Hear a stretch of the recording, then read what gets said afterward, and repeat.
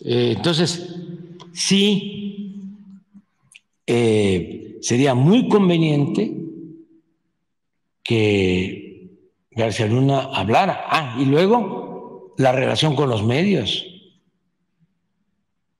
O sea, nada más que nos explicara eh, cómo tenía tan buena fama, porque pues es todo. Los medios, lamentablemente, han estado involucrados en todos estos actos de corrupción. Entonces, sí sería muy bueno eh,